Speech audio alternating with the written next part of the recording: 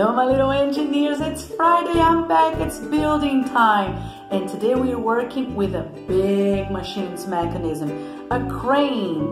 This one right here beside me is a big, powerful machine used in construction sites when buildings and houses are being built and it lifts weight from the floor up, from the ground up. Loads are lifted using this machine right here.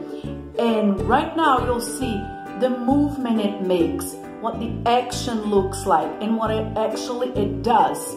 And now we are making one, we are simulating one with a similar mechanism at home with things you can find there. We need a broomstick.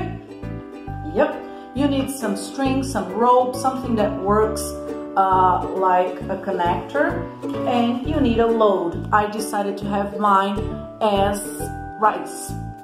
You need a chair to be the pivot, the support for your crane. So my load is on the floor. I'm supporting my broomstick right here and I'm acting, my hand here is acting as counterweight. So you need to really lift it up, up, up. Can you see? There is my rise going up, up, up. And here at this point, at this tip, at this edge of the broomstick, usually there's a very heavy counterweight. That's why you're probably uh, needing to put a lot of effort. Then you put it all the way down. I want you to build this one and run some tests. What if you use a shorter piece to your load and a longer piece to your counterweight? Does it make a difference? What kind of difference does it make?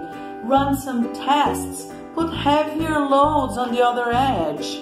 Just explore and the next time you run by a construction site, take a minute and see how this amazing machine works. See you next week. Bye.